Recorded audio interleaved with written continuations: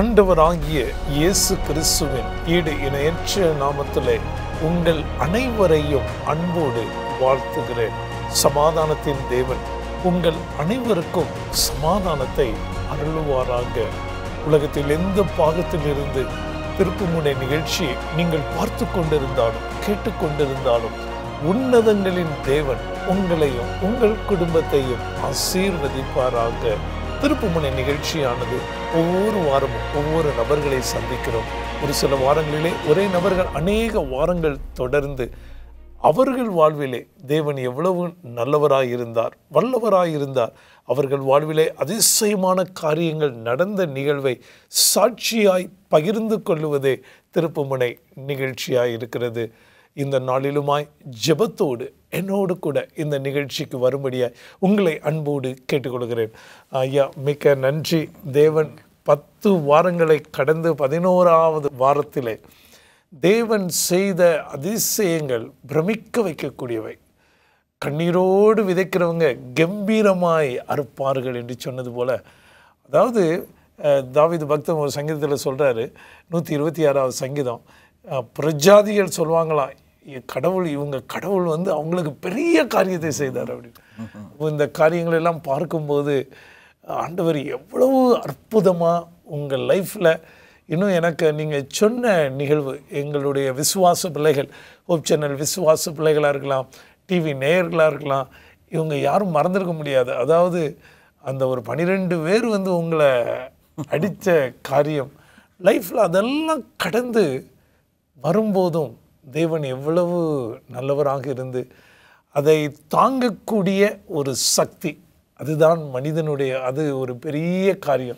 ஆண்டவர் அந்த பலனை இன்னும் உங்களுக்கு கொடுக்கணும். நீங்கள் தேவனுக்காக பெரிய காரியங்களை செய்ய வேண்டும்.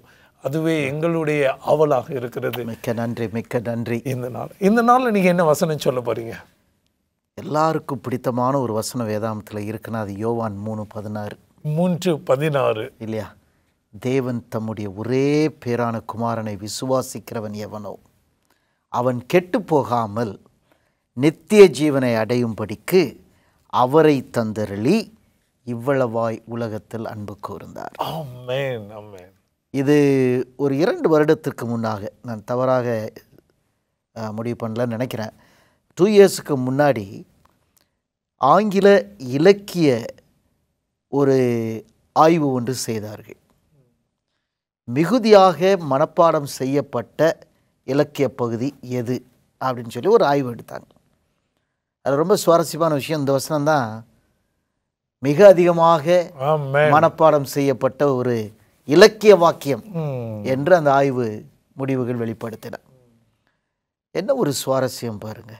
ஒருவரும் கெட்டு போகாமல். அப்போ இந்த ஆண்டவரை வந்து நம்ம சரியா அறிந்திருக்கிறோமா என்கிறதே ஒரு பெரிய கேள்விக்குறியாதான் இருக்கு. இல்லையா? யாரும் கெட்டு போகக்கூடாது. எல்லாரும் நித்திய ஜீவன் பெற்றுக்கொள்ளணும். அப்படின்னா இந்த பாவ உலகத்தில் பாவம் செய்யாமல் வாழ்கிறது யார்? யார் அப்படி போய் சேர முடியும்? அப்போ அது சாத்தியமே இல்லையே அப்படிங்கிற மாதிரி சில காரியங்கள் இருக்குது ஆனால் இந்த ஆண்டவர் எனக்கு என்னுடைய ஊழிய பாதையில் வெளிப்படுத்தின மிக பிரம்மாண்டமான காரியங்கள் அந்த பாடமும் ஒன்று. ஒருவரும் உதாசீனப்படுத்தப்படுவதற்கு தகுதியானவர்கள் அல்ல. எல்லாரையும் அரவணைக்கணும். எல்லாரையும் ஏற்றுக்கொள்ளணும். எல்லாரிடத்துல அன்பாக இருக்கணும். என்கிற பாடம் இயேசுமானவரை தவிர வேறு யாரிடமும் அதிகமாக கிடைக்கப் போவது கிடைக்க போவதில்லை. இல்லையா? செய்யாத ஒன்று அவர் சொல்லிக் கொடுக்கல. அவர் வாழ்ந்தார் செய்தார் எனவே நமக்கும் அந்த பாடத்தை சொல்லி கொடுத்துருக்கிறார். அப்போ எனக்கு ரொம்ப நம்பிக்கை கொடுக்குற வசனங்கள் இந்த ஒரு வசனமும் கூட. ஒருவர் கெட்டு போகாமல் அப்போ நான் எவ்வளவு பொல்லாதவனாக இருந்தாலும் நான் கெட்டு போகக்கூடாதுன்னு ஆண்டவர் நினைக்கிறார். நான் நாசமாக போகணும்னு மனுஷங்க நிறையா பேர் நினைக்கிறாங்க. ஆனால் ஆண்டவர் அப்படி நினைக்கிறதில்ல. இதற்கு சான்றாகத்தான் இந்த பாடங்களில் வந்து பல மாணவர்கள் வருகின்ற ஒரு பள்ளிக்கூடத்தில் தான் என்னுடைய ஊழியத்தில் நிறைய நாட்கள் நான் இருந்திருக்கிறேன். மாணவ விடுதி காப்பாளனாக பிற பள்ளி முதல்வராக ஆசிரியனாக. அதனால் இந்த வாலிப பிள்ளைகளோடையே தான் என்னுடைய வாழ்க்கையில் உங்கள் ஒரு எழுபது சதவீதம். ஊழிய பயணம் அது அதிகமான அதிகமானது அங்கே. தான் அப்படிங்க ம். அப்போ நான் ஏற்கனவே சொன்ன மாதிரி ஒரு சில காரியங்கள். இந்த வாலிப பிள்ளைகள் வரும் பொழுது என்ன நிலையில் வருவார்கள்? என்ன நிலையில் அவர்கள் திரும்பி போவார்கள்? அப்படிங்கிறத வந்து நான் கணக்கு வச்சு பார்த்துக்கிட்டே இருப்பேன். இதற்கு அசாத்திய பொறுமை வேண்டும். இல்லை நம்ம கோபத்தை தூண்டி விடுற மாதிரி நிறையா நடக்கும். நிறையா நடக்கும். எரிச்சல் நிறையா நடக்கும். தூங்க முடியாத இரவுகள் நிறையா இருக்கும். அப்போது நான் ஆண்டவர்கிட்ட மன்றாடும் பொழுதெல்லாம் சொல்லுவேன் ஆண்டவரே இப்படி ஒரு பொறுப்பில் உட்கார வச்சுருக்கிறீங்க.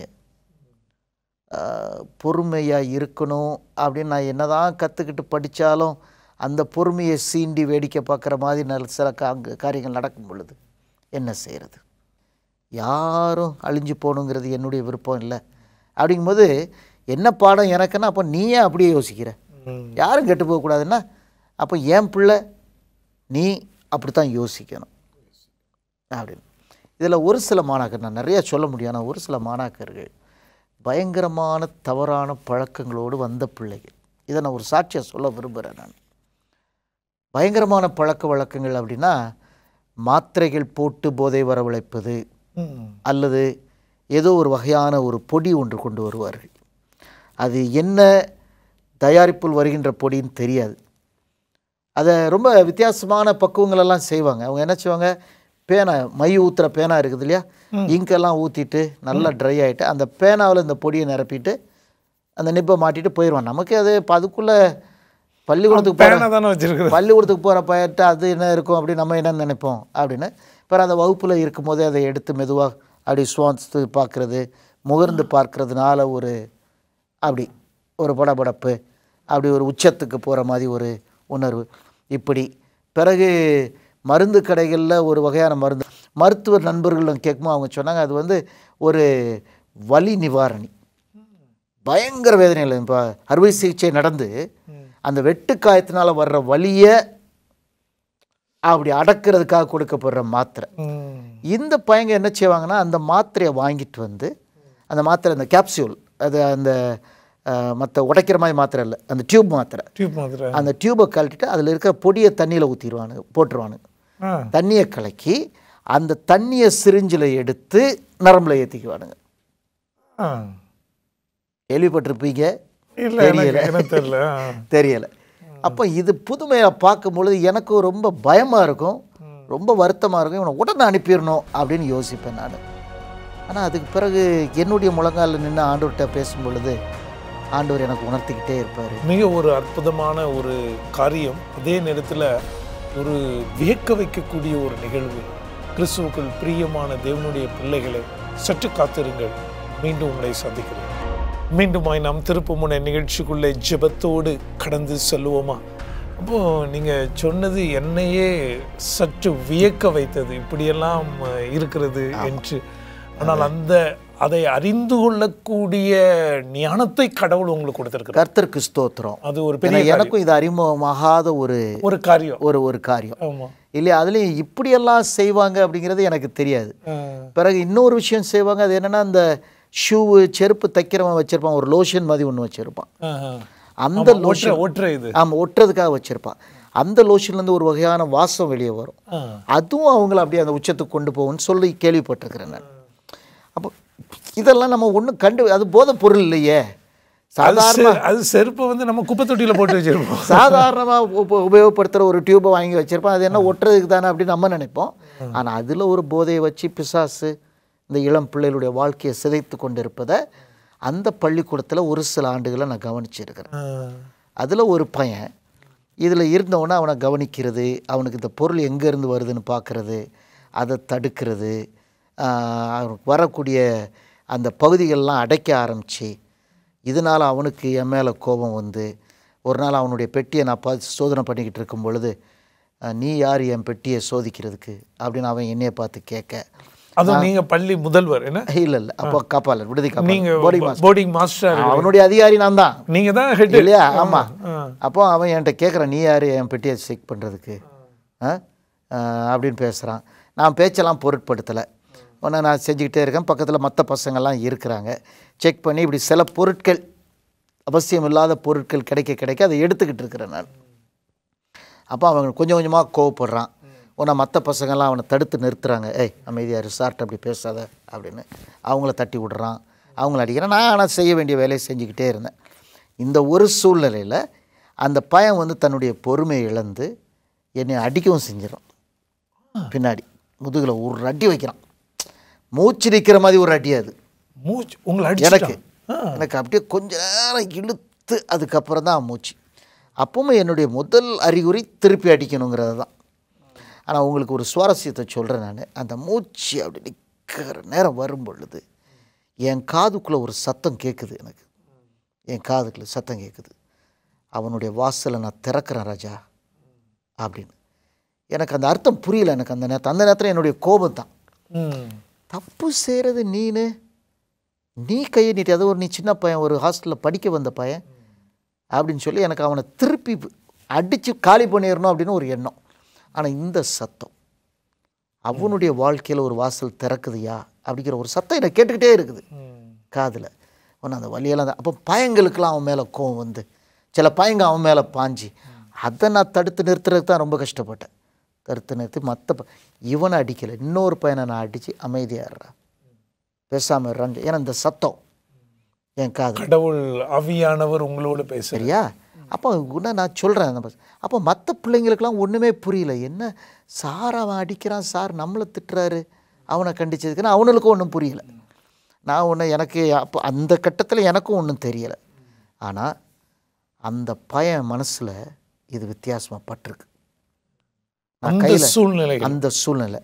அவன் பயன்படுத்துகிற இந்த போதைப் பொருட்கள் என் கையில் இருக்குது அடிச்சிட்டான். நான் பெட்டியை பூட்டுறேன். அவனை பார்க்குறேன் பார்த்துட்டு அவனை வந்து தடுத்த பயலை தான் நான் அடிச்சிருக்கிறேன். இதெல்லாம் அவனுக்கு ஒரு குழப்பத்தை உண்டு பண்ணிருச்சு. என்னெல்லாமோ செய்கிறேன் சார் என்கிட்ட வர மாட்டேங்கிறாரே கோவப்பட்டு. அப்படின்னு அவன் நினச்சானா என்னமோ தெரில அமைதியாக நின்றுக்கிட்டு இருந்தான். நான் எல்லாத்தையும் முடிச்சு பெட்டியை மூடிட்டு அந்த பையன்ட்டையும் சொன்னேன் மை ஜாப் இஸ் டான் நீ போ. வாழ்க்கையை பாரு. இதை நான் விட முடியாது. ஆனால் உன்னை காட்டி கொடுத்து உன்னை அனுப்புறதும் என்னுடைய எண்ணம் கிடையாது. ஆனால் இது நிற்கணும் இது நிற்கணும் நிற்கலைன்னா நீ படிக்க முடியாதுங்கிறத நீ மனசில் வச்சுக்க. அப்படின்னு சொல்லிட்டு நான் போயிட்டேன். அந்த பையங்களுக்குள்ள அவன் ஊர் பையங்களுக்கே வந்து அவன் மேலே ஒரு வெறுப்பாகி எல்லாம் அவனை ஒதுக்க ஆரம்பிச்சிட்டாங்க. எல்லோரும் ஒதுக்க ஆரம்பிச்சிட்டான் பேசாதீங்கடா அவன்கிட்ட எவனும் பேசாதீங்கடா அப்படின்ட்டு. இது என் காதுக்கு வர்றதுக்கு ஒரு சில நாட்கள் ஆச்சு. அப்புறம் அந்த பசங்களை கூப்பிட்டு நான் திருப்பி அவங்களுக்கும் சொன்னேன் அது நல்ல வழி இல்லைம்மா. அவன் திருந்தணுங்கிறதா நம்மளுடைய ஆசை. அதுக்கு தான் நான் இவ்வளோ பொறுமையாக போகிறேன் அதனால் நீங்கள் கோவப்படுறதுல அர்த்தம் கிடையாது. நீங்கள் எல்லாம் ஒத்துழைப்பு கொடுத்து அவனை நல்லா வைங்க. நல்லா உற்சாகமாக வைங்க. சந்தோஷப்படுங்க அவன் தவறு செய்கிறானா உடனே எனக்கு தகவல் கொடுங்க. அது அவனுக்கு அவனை துன்புறுத்துறதுல அவனை காப்பாற்றுறதுக்கு நம்ம செய்ய வேண்டிய முயற்சின்னு சொல்லி ஒரு குழுவாக சேர்ந்து இந்த வேலைகளை செய்ய ஆரம்பித்தோம் ஒரு டீம் ஆமாம் பண்ணு. அவனுக்கு எந்த பொருளுமே கையில் கிடைக்க ஆரம்பிக்கல அதுக்கு பிறகு. சுவர் அடிப்பான் கதவை அடிப்பான் அவன் பெட்டியவே உடைப்பான். கோபத்தில் ஏன்னா அவங்களுக்கு நான் மருத்துவர்கள்ட்ட அதுக்கு பிறகு விசாரிச்சிருக்கிறேன் நான். அவங்க என்ன சொல்கிறாங்கன்னா அந்த நரம்பு மண்டலமே பாதிக்கப்பட்டுருது. அந்த நேரத்தில் அவங்களுக்கு அது கிடைக்கலன்னா அவன் நார்மலாக இருக்க மாட்டான். அப்போ என்ன வேணாலும் செய்வான். கோலை கூட செய்வான். அப்படி ஒரு நிலைமை இருக்கும். அதனால் நீங்கள் ரொம்ப ஜாக்கிரதையாக இருக்கணும் அப்படின்னு மருத்துவர்களே என்கிட்ட சொல்லுவாங்க. பேசாமல் அனுப்பிடுங்க சார் வச்சிருக்காதீங்க அப்படிப்பாங்க நான் சொன்னேன் ஐயா அது என்னுடைய என்னுடைய போராட்டத்துக்கே அர்த்தம் இல்லாமல் போயிடுவேன் பரவாயில்லை அப்படி. அதில் இந்த ஒரு குறிப்பிட்ட பிள்ளையை பற்றி நான் உலகத்துக்கு நிறைய இடத்துல இந்த சாட்சியை சொல்லிக்கிட்டு இருக்கிறேன் நான். அவன் அப்படியே அந்த பிரமிச்சு நின்னானே அன்னைக்கு ராத்திரி. ரெண்டு மூன்று நாட்கள் கழித்து தான் அவனுக்கு மெதுவாக அந்த உணர்வு வர ஆரம்பிக்குது. யாருமே அவன்கிட்ட ஒழுங்காக பேச மாட்டேங்கிறான். அவன் கூட இருந்த அவன் ஊருக்காரன். அவன் பாஷை பேசுகிறவனே அவன்கிட்ட பேச மாட்டேங்கிறான். எல்லாம் மூஞ்சி தூக்கிறான் அவன்கிட்ட நல்லா பேசிக்கிட்டு இருந்த ஒரே ஆள் நான் தான். அந்த கட்டத்தில். அவனுக்கு ஒரு மாதிரி கூச்சமாகி வெக்கமாகி ஒரு நாள் அவன் சொன்னான் சார் உங்கள்கிட்ட நான் கொஞ்ச நேரம் பேசணும் சார். வா அப்படின்னு சொல்லி கூட்டிகிட்டு போயிட்டு வயல் நடுவில் இருக்கிற ஒரு போர்வெல் அந்த போர்வெல்லாம் வாய் திறந்து பேசினா நிறைய சாட்சி சொல்லும். ஏன்னா அங்கே வேறு யாரும் இருக்க மாட்டாங்க. நான் இந்த பிள்ளைய கூப்பிட்டு போய் அவனை அந்த துவைக்கிற கல் மேலே உட்கார வச்சுக்கிட்டு நான் ஒரு கல்லை உட்காந்துட்டு ரெண்டு பேரும் பேசுகிறோம் அப்போ அவன் சொல்கிறான் என்கிட்ட சார் எட்டு வயசு. நல்லா கேட்கணும் எட்டு வயசு. எட்டு வயசில் அவங்க ஊரில் என்ன நடந்திருக்குதுன்னா இவங்க அப்பா நல்லா அரசியல் நல்ல செல்வாக்குள்ள ஒரு மனுஷன். அவங்க ஊரில் இந்த அண்டர் கிரவுண்ட் பீப்புள்னு சொல்லி தீவிரவாதிகள் மாதிரி ஒரு குரூப் இருக்குது. அண்டர் கிரவுண்ட் என்று சொல்லுவார் நல்லது செய்கிற மாதிரி நிறைய தீமைகள் செய்வாங்க. அப்போ இந்த நபர் வந்து அரசாங்கத்தில் ஒரு நல்ல செல்வாக்கோடு இருந்த உடனே ஒரு சில காரியங்களை செய்கிறக்கு அவரை வந்து கேட்டிருக்கிறாங்க. அவர் முடியாதுன்னு மறுத்திருக்கிறார். அதனால் என்ன பண்ணியிருக்காங்க? ஒரு நாள் வந்து அவரை கட்டி போட்டுட்டு இந்த சின்ன பையன் இவன். இவனுக்கு எட்டு வயசுன்னு என்னமோ சொன்னான். ஒரு ரூமில் இருந்து பார்த்துக்கிட்டு இருந்திருக்கான். அவனுடைய தாயை அவர்கள் மானபங்கப்படுத்தி சிதைத்து சுட்டு கொண்டு தகப்பனையும் சுட்டு கொண்டுட்டாங்க கொண்டுட்டு போயிட்டான். அன்னையிலிருந்து இவனுக்கு ஆதரவாக இவன் குடும்பத்தில் இருக்கிற மற்றவங்க நின்னாங்கன்னா அவங்களுக்கு ஆபத்துன்னு குடும்பமே ஏற்றுக்கல இவனை. சரியா. அதனால ஒரு மருந்தா நினச்சி இதை எடுத்து எடுத்து மக்காரங்க. எட்டு வயசில். இந்த சம்பவம் நான் அவன்கிட்ட உறவாடி கொண்டிருந்த சம்பவத்தில் அவனுக்கு பதினெட்டு வயசு. மிக ஒரு இந்த காரியம் ஆண்டவர் ஆவியானவர் மூலமாய் உங்களை வழிப்படுத்தி வழி நடத்தி இருக்கிறார். கிறிஸ்துவுக்குள் பிரியமான தேவனுடைய பிள்ளைகளே அநேக பெற்றோர்கள் இந்த சிறப்பு நிகழ்ச்சியை நீங்கள் பார்த்து கொண்டிருப்பீர்கள். அநேக வாலிபர்கள் சீரார்கள் பெரியவர்கள் நீங்கள் இந்த நிகழ்ச்சியை பார்த்து கொண்டு இருக்கும்போது நம்மை சுற்றிலும் அநேகர் அநேக காரியங்களுக்கு அடிமையாக இருக்கிறாங்க. ஒரு சிலர் செல்ஃபோனுக்கு அடிமையாக இருக்கிறாங்க. இரவு பகல அதிலே உட்கார்ந்து கொண்டிருக்கிறாங்க. அதுவும் ஒரு போதை தான் ஒரு ஒரு சிலர் டிவிக்கு சிலர் எப்பவும் பேசிக்கிட்டே இப்படி அடிமைகளாக இருக்கும்போது அவர்கள் வாழ்வை நீங்கள் சந்திக்க என்ன செய்ய வேண்டும்? சற்று காத்திருங்க மீண்டுமாய் நாம் திருப்பு முன்னே நிகழ்ச்சிக்குள்ளே கடந்து செல்வோம். ஜெபத்தோடு என்னோடு கூட வருகிறீர்களா? பையன் நீங்கள் சொன்னீங்க அந்த சிறுவனுடைய வாழ்வில் நம்ம எல்லாருமே அவனை வெளியில் பார்க்கும்போது இவன் எப்படி செய்கிறான் அப்படி செய்கிறான் அந்த வயசுலன்னு ஆனால் அவன் வாழ்விலே ஒரு பெரிய காயம் மனதுக்குள்ளே இருந்திருக்கு. அவங்க அம்மா அப்பா எல்லாரும் கண் எதிராக. கண்ணு கண் எதிராக அந்த வயசுல. அதுக்கப்புறம் அவன் குடும்பம் அவனை கைவிட்ட விதம். புரியுதுங்களா? அதனால் இப்படி நம்ம வாழ்க்கையை நம்ம மாற்றிக்கிடணும்னு நினச்சானே நம்ம தெரியல தவறான பழக்கங்களுக்குள்ள. அவங்க அந்த மலைப்பகுதிகளில் இருக்கிறவங்களுக்கு இந்த போதை பொருட்கள் கிடைப்பது ரொம்ப சுலபமாக கிடைக்கும் போல தெரியுது. அதனால தான் அநேக பிள்ளைங்க அதுக்கு அடிமையாகி போயிடுறாங்க. அதில் இவன் பத்து ஆண்டுகளாக இருந்திருக்கிறான். அதனால் அவனுக்கு இப்போ வந்து முற்றிலும் ஊறி போய் அது இல்லைன்னா அவன் வெறி பிடிக்கிற மாதிரி அந்த மாதிரி ஒரு சூழ்நிலை. அப்போ அவன் அன்னைக்கு உட்காந்து அந்த போர்வெல் பக்கத்தில் என்கிட்ட உட்காந்து அழுது அவன் சொன்னான் என்னை மன்னிச்சிருங்க சார். என்னால் மாற முடியுமான்னு எனக்கு தெரியலை. இல்லைன்னா நானே சொல்கிறேன் அனுப்பி விட்டுருங்க. உங்களை திருப்பி திருப்பி காயப்படுத்துறதுக்கு நான் ஆயத்தமாக இல்லை. ஏன்னா நீங்கள் ரொம்ப வித்தியாசமாக இருக்கிறீங்க. என் வாழ்க்கையில் நான் இதுவரைக்கும் யாரையும் அப்படி பார்க்கல. அதனால் நான் ஒன்று சொன்னேன் நீ அப்படி சொல்கிறியடான்னு நான் எப்படி உன்னை விடுவேன் நான்? என்னை நேசிக்கிற ஒரு பிள்ளைய நான் எப்படி விடுவேன்? விட மாட்டேன். எனக்கு நீ திருந்தி வந்துடணும் ஆண்டவருக்குள்ளே வந்துடணும் என்ன வேணாலும் நான் செய்வேன். ராத்திரி நேரங்களில் அவனால் தூங்க முடியாது. அந்த மருந்து போடாமல் தூங்க முடியாது. தூங்க முடியாது. அப்படியே வராண்டாவில் உலாத்திக்கிட்டே இருப்பான். நான் என் வீட்டில் உட்காந்து அப்படியே அவனை பார்த்துட்டே கண்ணீர் விடுவேன் நான். ஜெபம் பண்ணிக்கிட்டே இருப்பேன். அவனும் ஒன்றும் செய்ய முடியல. ஒன்றும் முடியல அவனுக்கு. நம்மளும் ஒன்றும் செய்ய முடியாது ஆமாம் அப்படின்னு. அதுக்கப்புறம் ஒரு நாள் கொஞ்சம் கொஞ்சமாக வெளிப்படுறது. அவன் ஒரு கிட்டார் எடுத்து பிராண்டால் எல்லா பிள்ளைகளும் தூங்கிட்டு இருக்காங்க. அமைதியாக உட்காந்து அந்த கிட்டாரை வாசிக்கிறான். நான் இதான் முத முறை அவன் கிட்டார் வாசிக்கிறத பார்க்குறேன். இது வரைக்கும் ஒழுங்கினத்தை மட்டும் தான் நான் பார்த்துருக்குறேன். அழகாக வாசிக்கிறான். மென்மையான குரலில் பாடுறான். அப்போ நான் அங்கே இருந்துட்டு வீட்டில் இருந்து ஒரு சத்தம் கொடுத்தேன் அவனுக்கு. கொடுத்து டாய் தூங்க வேண்டிய நேரத்தில் என்னடா பாட்டு பாடிக்கிட்டு இருக்கிற? அப்படின்னு சும்மா வாச்சு கேட்டேன். ஆனால் எனக்குள்ள சந்தோஷம். நான் அவன் நிறுத்திட்டு சார் உங்கள் தூக்கத்தை கெடுக்குது நான் நிறுத்திடுறேன் சார். எனக்கு தூ I am not sleepy sir. தூக்கம் வர மாட்டேங்குது சார். அதனால் கொஞ்சம் பெர்மிட் பண்ணிங்கன்னா மியூசிக் எனக்கு ரொம்ப பிடிக்கும் சாருங்கிறான் வாசிடா கண்ணான்னு சொல்லிட்டேன். அதுலேருந்து அவன் வெளியே வர்ற வரைக்கும் தினம் நைட்டு ஃபுல்லாக வாசிப்பான். காலையில் பள்ளிக்கூடத்துக்கு போவான் அவனுக்கு தூக்கம் வரும். உடனே அனுமதி கேட்பான். ஹெட் மாஸ்டர் கோவப்படுவார் பிரின்சிபல் கோவப்படுவார்.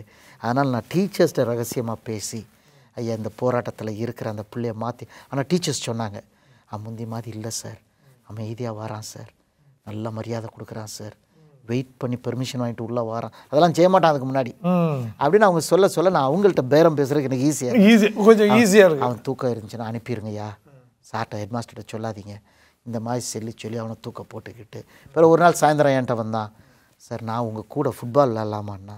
வாடா ராஜான்னு அற்புதமான ஃபுட்பாலர் இவ்வளோ நாள் அந்த தாளந்துகள்லாம் அடைச்சி போட்டு இந்த போதை சனியம் பிடிச்சி அவனை ஆட்டி வச்சிருக்கு. எல்லாரும் பிரமிச்சு போகிற மாதிரி. அந்த வருடம் நம்ம பள்ளிக்கூடம் வெளியே போய் ஜோனல் லெவலில் ஜெயிச்சு டிஸ்ட்ரிக்ட் லெவலில் ஜெயிச்சு ஸ்டேட்டுக்கு குவாலிஃபை ஆகிறோம். இந்த ஒரு பிள்ளையினால். அந்த ஒரு அந்த பழக்கத்துலேருந்து இப்போ ஏன்னா அவனுக்கு எல்லாரும் ஏற்றுக்கிட ஆரம்பிச்சிட்டாங்க. எல்லாரும் அவனை வச்சுக்கிறாங்க. அவன் தாளந்துகள் வெளியே வருது. ஆலயத்தில் அழகாக பாடுவான் பாட்டு. கிட்டார் வாசிப்பான். இப்போ அவன் மேலே இருந்த எல்லா பொல்லாப்பான ஆவியும் மாறி போச்சு. மாறி போயிருச்சு. அற்புதமான மாற்றம். அப்போ அவன் கா இப்போ ஸ்கூலை முடித்து பாஸ் பண்ணிவிட்டு போயிடுறான். பூனால போய் அவன் இப்போ வேற ஃபர்கூசன் காலேஜில் படிக்கிறான். படித்து. அந்த காலேஜில் டோர்னமெண்ட்டை விளையாண்டு. பெஸ்ட் பிளேயர் அவார்டு வாங்கும் பொழுது அவன்கிட்ட அந்த கேள்வியை கேட்குறாங்க அப்போ அந்த நாட்கள் நானும் ஃபுட்பால் நல்லா விளையாடுவேன். அந்த நாட்களில் இந்த மாதிரி ஆட்கள் இந்த மாரடோனா. பீலே இப்படி பேர்கள்லாம் பிரபலம் ஃபுட்பாலில் இப்போ தானே ரொனால்டோ மெஸ்ஸி அப்படின்னு புது பேர் வந்து புது பேர் வந்து அப்போ அப்போ அவன்கிட்ட கேட்குறாங்க உனக்கு ஃபுட்பாலில் உனக்கு ரோல் மாடல் இன்ஸ்பிரேஷன் யார்? அப்படின்னு. அந்த புள்ள அந்த மேடையில் என் பேரை சொன்னான். என்னுடைய வாத்தியார். என்னால் மறக்க முடியாது அவனை. அப்படி ஒரு காட்சி சாட்சியை சொல்கிறான் அந்த பிள்ளை. இன்னைக்கு அவன் ஒரு பள்ளிக்கூடத்து முதல்வராக இருக்கிறான். நான் சொல்கிறது அந்த சத்தம் என் காதுக்குள்ள ஆண்டவர் கொடுத்த சத்தம் அவனுடைய வாசல் திறக்குது. நீ அடைச்சிடாத. இல்லையா? இப்போ நான் வந்து இதை எல்லாருக்கும் சாட்சியாக சொல்லிக்கிட்டு இருக்கிறேன். ஏன் சொல்கிறேன் அப்படின்னு சொன்னால் கொஞ்சம் பொறுமையாக இருங்க பொறுமை இழந்துடாதீங்க ஆண்டவர் வேறு ஏதாவது ஒரு நோக்கம் வச்சிருப்பார். வச்சிருப்பாரு. ஏதாவது தெரியும். அவனுக்குள்ள இப்படி வைரம் இருக்குதுன்னு யாருக்கு தெரியும்? யாருக்கு தெரியும்? ஒருத்தருக்குமே தெரியாது. இன்னைக்கும் அந்த பிள்ளை அவன் திருமணமாகி பிள்ளைகளோட இருக்கிறான். அவன் மூத்த பிள்ளை காலேஜ் போகிற அளவுக்கு அவனுக்கு வயசாயிருச்சு. ஆனால் இன்னும் என்கிட்ட பேசும்போது சொல்லுவான் sir if you are not there I am not there நான் திருப்பி சொல்லுவேன் நான். இல்லடா கண்ணு. உன்னுடைய வாழ்க்கையில் பார்த்த மாற்றங்களை பார்த்து என் வாழ்க்கையில் நான் நிறைய பலம் அடைஞ்சிருக்கிறேன். அதனால் நான் உனக்கு ஆசீர்வாதம் நீ சொல்கிறது எவ்வளோ உண்மையோ. மிக ஒரு அற்புதமான உயிருள்ள ஒரு சாட்சி. கிறிஸ்துவுக்கள் பிரியமான தேவனுடைய பிள்ளைகளே தேவனால் எல்லா காரியமும் கூடும். மனிதனால் கூடாது. இந்த சமயத்திலே ஜபிப்போமா? நீங்கள் எந்த பகுதியில் இருந்தாலும் எந்த தேசத்தில் இருந்தாலும் சுகவீனமாக இருந்தாலும் பலவீனமாக இருந்தாலும் எந்த நாளிலே ஆண்டவர் உங்கள் வாழ்க்கையை மாற்றும்படியாய் காத்து கொண்டு இருக்கிறார் நீங்கள் எவ்வளவு க பொருளாதார நெருக்கடியாக இருக்கலாம். ஏதாவது காரியத்திற்கு அடிமையாக இருக்கலாம் பாவமாக இருக்கலாம் விபச்சாரமாக இருக்கலாம் பொய் சொல்லக்கூடிய காரியமாக இருக்கலாம். ஆண்டவரை இந்த நாளிலே உங்கள் வாழ்க்கையை மாற்றக்கூடியவர் இருக்கிற நாம் அனைவரும் ஜெபிப்போம். அப்பாஸ்ரியா நீங்கள் ஜெபம் பண்ணுங்க. அன்பின் தேவனே உம்மை ஆராதிக்கிறோம் வணங்குகிறோம் ஐயா. துதிகளின் மத்தியில் வாசம் செய்கிற ஆண்டவர் நீர் இந்த பாவிகளின் மத்தியிலும் வாழ்வதற்கு பிரியப்படுகிறீர் என்பதற்காக உமக்கு ஸ்தோத்திரம். ஒரு ஆத்மாவும் கெட்டு போய்விடக்கூடாது. எல்லாரும் ரட்சிக்கப்பட வேண்டும் என்பதில் ஏங்கி நிற்கிற ஆண்டவர் நீர். அன்பின் தகப்பன கேட்ட இந்த அருமையான பிள்ளையின் சாட்சி அதற்கு ஒரு பெரிய சான்று ஆண்டவரை. எப்பேற்பட்ட பாவியாக இருந்தாலும் அவர்களை நீர் நேசிக்கிறீர். கடைசி வரைக்கும் எப்படியாவது இந்த பிள்ளை என்னிடத்தில் வந்துவிட மாட்டானா என்று ஏங்கிக் கொண்டிருக்கிறீர். என்னோடு ஜெபிக்கின்ற பிள்ளைகள் இந்த தொலைக்காட்சியின் நேயர்கள் விசுவாச பிள்ளைகள் எல்லாருக்குள்ளேயும் இப்படி ஒரு போராட்டம் இருக்கும்பா. விட முடியாத பாவங்கள் இருக்கலாம். ஆனால் அவர்களை நீர் நேசிக்கிறீர் என்பதை இந்த சாட்சிகளின் வாயிலாக அவர்களுக்கு விளங்க பண்ணுமப்பா. அப்படி யாராவது உம்மிடத்தில் மனமுவந்து வரும் பொழுது நீர் அவர்களை ஏற்று அவர்களை சுத்திகரிக்கிற தேவனாக இருக்கிறீர் என்பதை அவர்கள் அறிந்து கொள்ளட்டும். நன்றி ஆண்டவரே. தொடர்ந்து வல்லமையாக செயல்படும் எங்கள் ஒவ்வொருவரையும் ஏற்றுக்கொள்ளும். இயேசுவின் மூலம் ஜெபிக்கிறோம். நல்ல பிதாவே. மிக்க நன்றி. கடவுள் உங்களையும் உங்கள் குடும்பங்களையும் ஆசீர்வதிக்கட்டும். கிறிஸ்துவுக்குள் பிரியமான தேவனுடைய பிள்ளைகளை இந்த நாளின் நிகழ்ச்சி உங்களுக்கு உங்கள் குடும்பத்திற்கும் ஆசீர்வாதமாக இருந்திருக்கும் என்று விசுவாசிக்கிறேன். நீங்கள் எங்களோடு தொடர்பு கொள்ளும்படியாக உங்களை அன்போடு கேட்டுக்கொள்கிறோம். எங்களுடைய தொலைபேசியில் நீங்கள் தொடர்பு கொள்ளலாம். உங்களுக்கான ஆவிக்குரிய புஸ்தகங்கள் வேண்டுமென்றால் எங்களுடைய விலாசங்களுக்கு தொடர்பு கொள்ளலாம். ஃபேஸ்புக் மூலமாக தொடர்பு கொள்ளும்படியாக இந்த ஊழியங்களை தாங்க வேண்டுமென்றால் நீங்கள் எங்களோடு தொடர்பு கொள்ளலாம். இயேசு கிறிஸ்து சீக்கிரம் வருகிறார். உலகம் முழுவதும் ஒரு பதட்டமான சூழ்நிலை. இந்த நாட்களிலே நீங்கள் அவரை சந்திக்க ஆயத்தமாக இருக்கிறீர்களா ஆமேன். ஆமேன்.